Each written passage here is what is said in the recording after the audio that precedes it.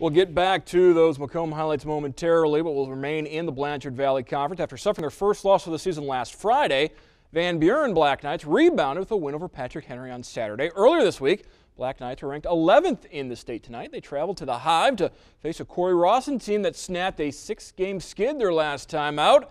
The Fighting Hornets would be pesky. A barn burner at the Hive. Tie ball game with three minutes to go. Cory Rawson's Blake Abel finds Bryce Tuttle on the break, lays it in. Cory Rawson up by two. Black Knights Ryan Turner comes up with the steal and will go all the way for the lay-in.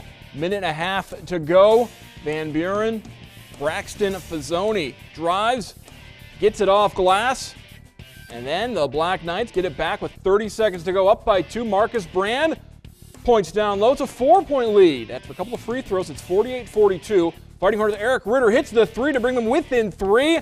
With a second left, Zach Bowling hits the free throw as time expires after the miss, and Van Buren gets the victory 49 45. Black Knights picking up the road win.